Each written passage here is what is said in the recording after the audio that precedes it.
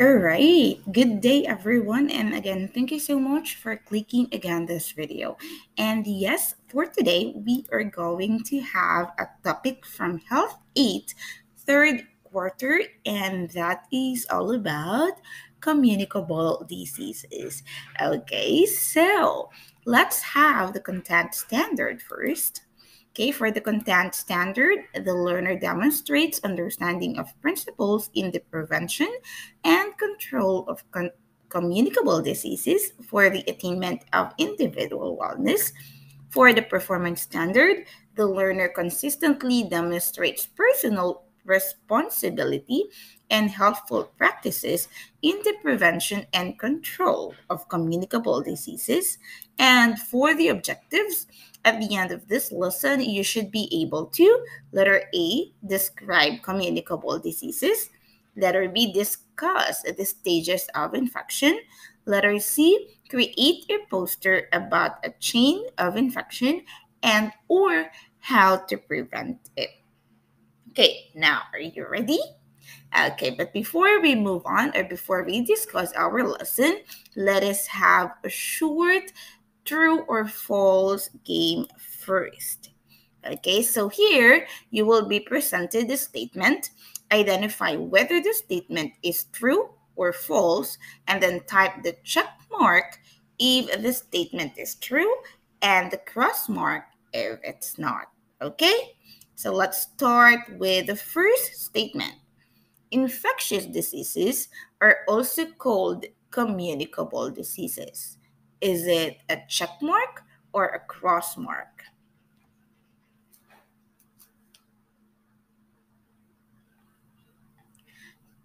Okay, let's see if your answer is correct. The correct answer is a cross mark.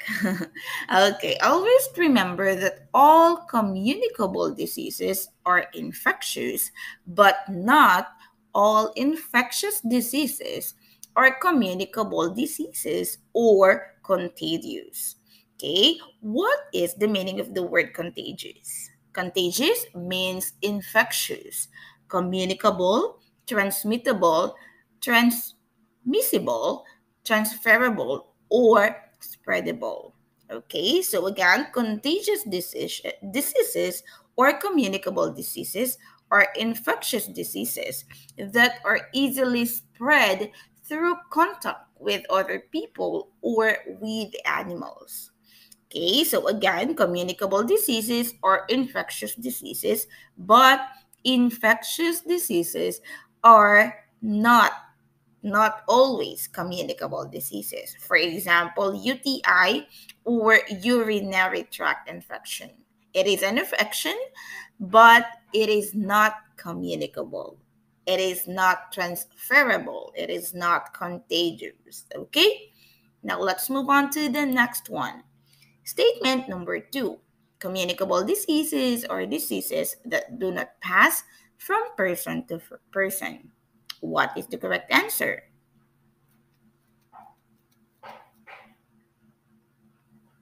Okay, the correct answer is no or a cross mark. Communicable diseases are diseases that do not pass from person to person, and that is not correct because communicable diseases, as I said, are diseases that pass from person to person or from an animal to person or animal to an animal. Okay, now let's continue. Statement number three a person may develop a communicable disease after becoming infected by a pathogen. The correct answer is okay, a check mark. Okay, a pathogen. Do you know what's the meaning of a word pathogen? Okay, a pathogen is an organism that causes diseases. Pathogenic organisms are of main types of viruses, bacteria, fungi, protozoa, and worms. So we are going to talk about more of that later. Next, number four, washing your hands thoroughly and regularly can totally prevent you from catching communicable diseases. Okay, is it a correct or a check mark or a cross mark? The correct answer is a cross mark. Okay. Why? Washing your hands thoroughly and regularly can not totally, because it says here totally, it means like 100%, prevent you from catching communicable diseases. And it's not correct. Why? For example, COVID 19. COVID 19 is an example of a communicable disease. Okay. Can you totally or 100% prevent yourself from um, catching COVID 19 if you just wash your hands regularly or use your alcohol regularly but not wear mask or do social distancing? Of course not. You have to still wear a mask and um, do social distancing if you want to prevent yourself from catching COVID 19. Okay, not only washing your hands, right? So this one is a wrong statement. Okay, next, number five. All communicable diseases require treatment to prevent them from becoming more serious. Is it correct or not correct? Okay, the correct answer is a cross mark. Not all communicable diseases require treatment to prevent them from becoming more serious. Okay, so thank you so much for this. Now, congratulations, and let's move on to our lesson for today. So, our lesson for today again is about this Okay, this is a good example. So, what is this? Okay, so virus or COVID 19 is a word from coronavirus disease 2019. So, the word corona means crown and refers to the appearance that coronaviruses get from the spike protein sticking out of them. Okay, so COVID 19 is a an example of a communicable disease. Okay, so what is a communicable disease? Communicable diseases are also known as infectious diseases, as I said before, or transmissible diseases. And they are illnesses that result from the infection, presence, and growth of pathogens in an individual, human, or other animal host. Okay, so the term infection does not have the same meaning as infectious disease because some infections do not cause illness in the host. Okay, now let's continue. Okay, chain of infection. So how does a chain or how does chain of infection happen? Okay, now let's see. Let's talk about first infection. So, an infection occurs when a microorganism enters a person's body and causes harm. So, these infectious microscopic organisms can multiply very quickly and they could be bacteria, viruses, or fungi. So, again, these are called pathogens. Okay, so the spread of infection can be described as a chain with six links pathogen, reservoir, okay, portal of exit, mode of transmission, portal of entry, and susceptible host. So let's talk about each of these links one by one. Okay, so let's talk about first pathogen. Again, pathogen is an organism that causes diseases. These could be bacteria, virus, fungi, worms, and protozoa. Okay, so next one, reservoir.